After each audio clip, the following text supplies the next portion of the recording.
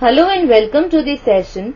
In this session, we are going to discuss the following question and the question says that the number of children capital X in a family chosen at random has the following probability distribution.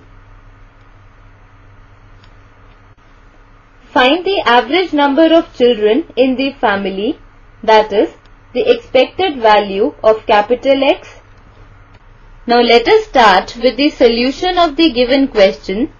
Here we are given a table that shows probability distribution for the number of children capital X.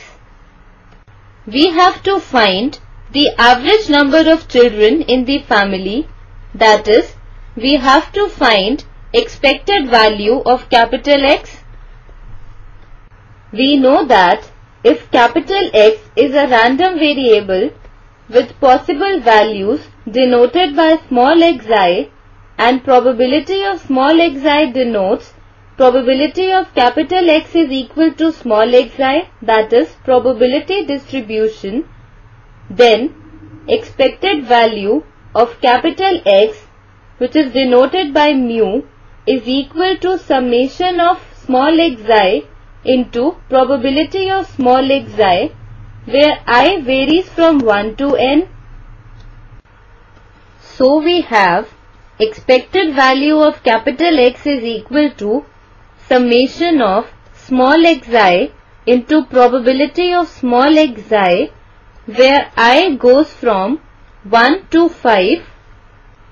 Now this is equal to 1 into 0.44 plus 2 into 0.39 plus 3 into 0.14 plus 4 into 0.02 plus 5 into 0.01 and this is equal to 1 into 0.44 is 0.44 plus 2 into 0.39 is 0.78 plus 3 into 0.14 is 0.42 plus 4 into 0.02 is 0.08 plus 5 into 0.01 is 0.05 and this is equal to 1.77.